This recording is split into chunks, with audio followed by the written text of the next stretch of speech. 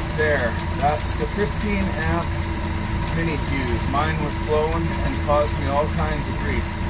But thanks to other people on the internet, they told me about this. When you pop that little connector off, there will be a 15 amp mini fuse. And mine was blown. So hopefully this helps somebody else out.